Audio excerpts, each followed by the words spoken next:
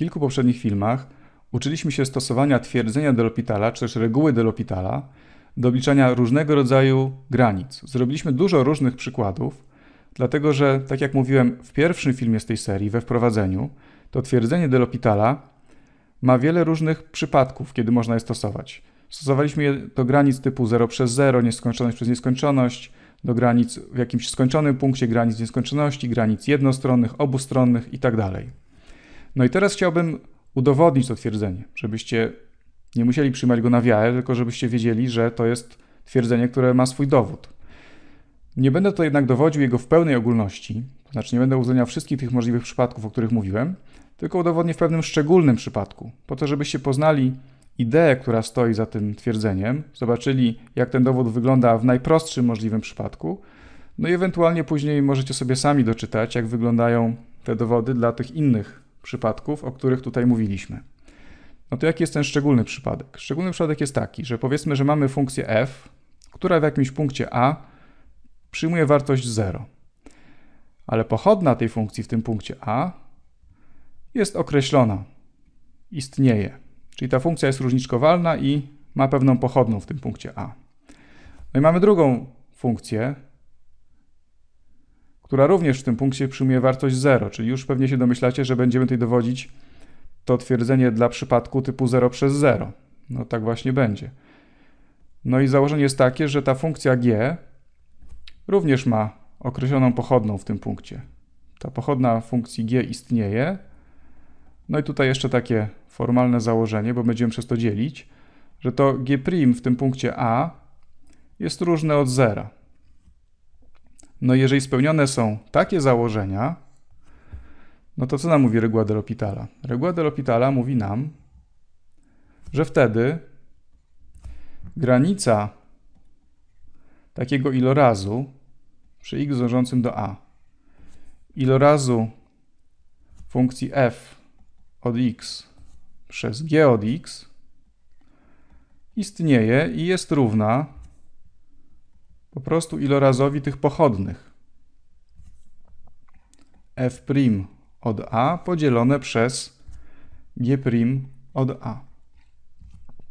No i ten szczególny przypadek, to uproszczenie, polega między innymi na tym, że tutaj zakładam, że te pochodne istnieją. W ogólnym przypadku zakłada się tylko, że ta granica tych pochodnych istnieje.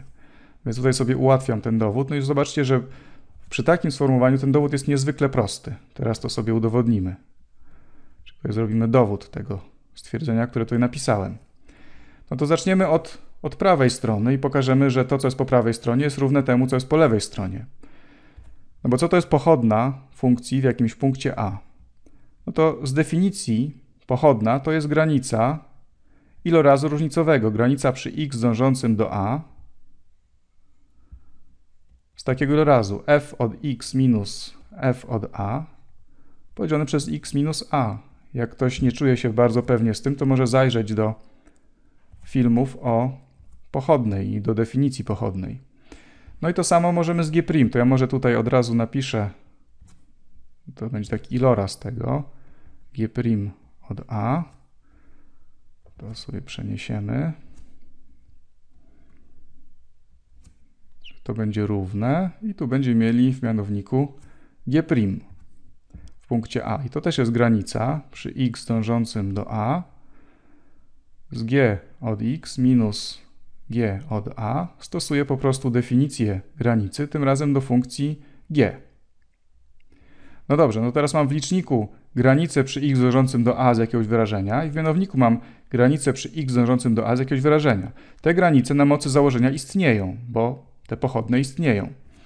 Więc ja mogę napisać, że to jest po prostu granica przy x dążącym do a z ilorazu tych dwóch rzeczy. Ale teraz, żeby nie pisać piętrowych ułamków, tutaj bym po prostu te dwie granice zastąpił jedną granicą, a żeby nie pisać piętrowych ułamków, to ja to wyrażenie teraz zapiszę tak, jak się uczymy w podstawówce, że dzielenie ułamków to jest mnożenie przez odwrotność tego drugiego, czyli napiszę to tak, że tutaj mam f od x odjąć f od a podzielone przez x minus a razy odwrotność tego, co jest w mianowniku odwrotność tego, co jest w mianowniku, no to będzie x minus a podzielone przez g od x odjąć g od a. No i widzimy teraz, że ten czynnik, który tutaj mamy, się po prostu skróci, bo on jest taki sam w liczniku jak w mianowniku. No a co nam zostanie? Zostanie nam granica przy x dążącym do a z takiego ilorazu. Tutaj będziemy mieli f od x odjąć f od a, a w mianowniku mamy g od x odjąć g od a. No ale przypominam sobie założenie, że f w punkcie a jest równe 0 i że g w punkcie a jest równe 0. Czyli to jest po prostu równe 0. Tego nie będzie. To też jest równe 0 na mocy założenia. Czyli co nam zostaje? Ja może napiszę to jeszcze raz. Zostaje nam granica przy x dążącym do a z ilorazu f od x podzielone przez g od x. Czyli dokładnie to, co mamy tutaj po lewej stronie. Czyli wychodząc od tego, co tutaj jest po prawej stronie, czyli od ilorazu pochodnych funkcji f i g w punkcie a, to mamy tutaj, doszliśmy do tego, że to jest równe granicy przy x dążącym do a z ilorazu tych funkcji, czyli tego, co tutaj mamy po lewej stronie, więc udowodniliśmy ten wzór, który tutaj mamy. No i widzimy, że jest to natychmiastowa konsekwencja po prostu definicji pochodnej i tego założenia, że wartości tych funkcji w tym punkcie a są równe 0.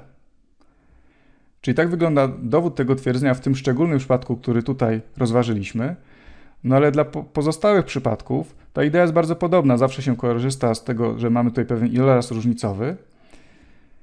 No i te dowody nie są jakoś istotnie pojęciowo trudniejsze od tego, który tutaj przeprowadziliśmy.